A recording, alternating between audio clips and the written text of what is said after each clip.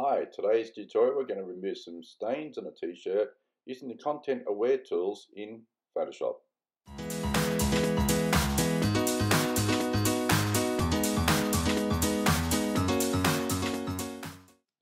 Okay, now the first thing we're going to be doing, we're going to go for the bottom part here, this area. Now, with this stain in particular, we've, we get a t-shirt here and it's got folds through it like this with shadows. So if we use the clone stamp tool, um, we can use the patch tool, we can use anything whatsoever, we can do content aware, do all those things as well. We might have an issue with the front, with the shadows. So what we're going to do is we're going to go roughly around something like that. And taking into account that we've got that shadow there, so we're going to match it up with something else that's got a shadow. See, that's not going to work. That'll probably work. Yep, that looks good. Do the same with this one. Something like that. Yep. And this one. Something like that. Not going to work. Well, it's working, but not quite happy with it. So just go a little bit further. Yep, that looks good. Okay. Now we get the bigger area. Unfortunately, I have to keep on going around the whole entire image to get the perfect result. Now there is another way of tricking the clone stamp tool.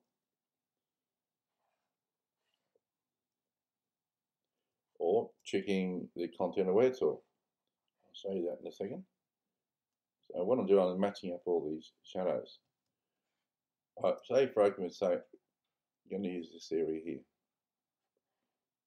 I'll make it a little bit bigger. Okay, we just get the lasso tool, go around an area like this, copy that, and paste it, hide the back layer so you can't see it. Make sure we got it selected. Go close around the actual part that you want to get rid of. Edit, fill, content aware. And what that's done is taken samples around there. If you did it and it took samples around here, some of this red would become part of it. So I'll just flatten layer. I'll show you what I mean.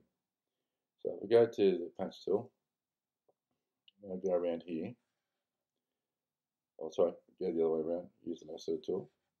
Like that. Um, edit, fill, content aware. And watch what happens. See, it picks up bits and pieces of red here, black. This is what we don't want. So we'll try here.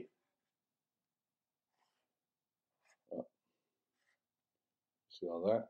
That's fine. These little pieces are okay. What I prefer to do, I get something like this, get all the little pieces around it first. So that way you're minimizing what the content aware is going to drag from what, it's going to sample around. So go for little bits and pieces around first. Going around those little areas. And then we'll have it all clear right around the whole entire part that we want to get rid of. And we'll have no problems whatsoever because we'll have nothing else to actually sample, just whatever we've cleaned up around it. So it's looking better, it's a lot better. And it's easier doing it this way with little pieces at a time. The only unfortunate thing is if you go like this and you go halfway through doing something, it'll still sample that into there, which is what we don't want. The whole idea is to go around it so that you go around the whole entire subject.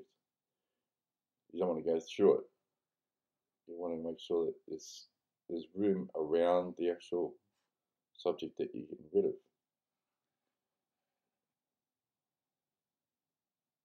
Because the content aware is actually taking samples from either side all over the image. Now, we can do the content aware, keep on going like this, and it's just going to do that edge, but see what happens? It's actually blurred. That makes it even worse. So there's multiple different ways of doing this. You can use the clone stamp tool. Um, you hold down the option key, sample an area, and you just start tapping away. And you keep on re-tapping, re-tapping, re-tapping. No point drawing like this because it's just going to continue sampling an area that you've just covered. So I'm just trying to match up these areas, especially with these folds in the shirt, and trying to avoid duplication of folds and bits and pieces of the garment where it's uh, now what I'm doing here I'm just constantly just holding down the, the option key sampling an area and tapping away so very slowly we're getting through this process now see here I've got this little area and this little area that duplicated. So we can fix that up with content aware. So what I'm doing is just getting rid of most of the color part and we can deal with the, shadows with the patch tool. So I'm just going to get this area here. There, sample it like that so it's blended in. And that probably can't see it that well on the computer, but that's doing a good job. Now a little bit of redness just here. Do the same thing, go around it like that. Duplicates. Basically all we're doing with content aware is sampling an area around. Uh, getting there, getting there slowly guys, but we're getting there. So this, you got spot healing brush as well. We'll give this a go. You got to sample an area, so you hold in the option key. Um, get back to again, spot healing brush. Sample that area. And we just keep on going.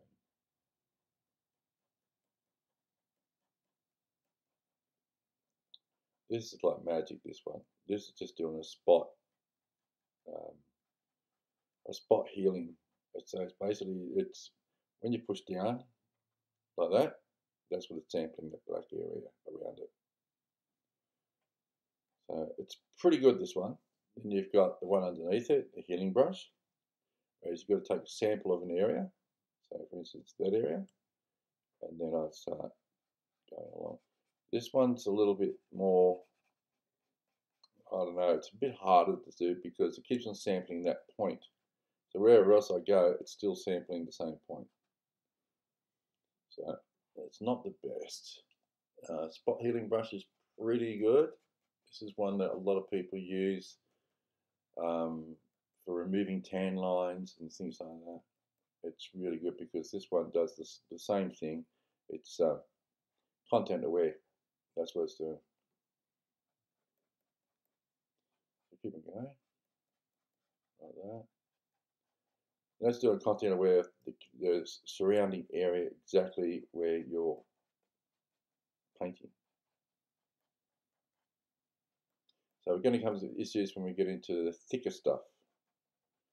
So what I'm doing, like I did before on the other side, um, just minimizing what the content aware is going to take samples of by minimizing the area around the main part, like the black part there and all that. So if I keep on going around the edges and minimizing what it's going to sample, mm. we'll be in business. It doesn't matter if you get left, right, up, down, it's still doing a sample and a radius. So a lot of people keep thinking, oh, if I go left or I go right, it samples different sections, different weight, different actions, different angles. No, it doesn't. It doesn't do that at all. It just does completely right around in a circular motion, radius of what you're working on. So if we go like that, big one, big one. Because I'm using the press, uh, pen and tablet, so it's pressure sensitive. So pretty lucky with that. Oh, yeah, I'm just going to zoom out. Now that's looking quite good. So what I'm going to do, I'm going to go back to the lasso tool, select this whole entire area, go content aware, edit, fill, content aware. Usually do 100% because it takes it 100% from this part of the image to the other part of the image. So there we go. That's done a good job. So there's all different ways of using content aware. And what I've just shown you the samples of, these are the easiest way of doing content aware. Now we've got problems with shadows like folds in skin, uh, in clothing.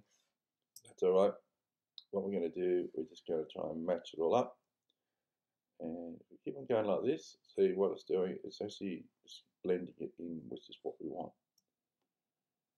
So guys, that's looking pretty good. Now, as you, you, can see when you zoom out, you can see the light area there. It's not going to match properly. So I'm just going to get a sample of that area like that. And bring it down. Might even go up. In there.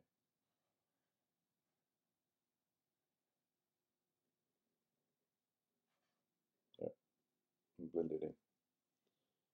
Okay, I'm pretty sure we've done what we're after here. So there you go, guys. There's some nice little tricks how to use the content aware tools to remove stains on a shirt. Thanks for watching.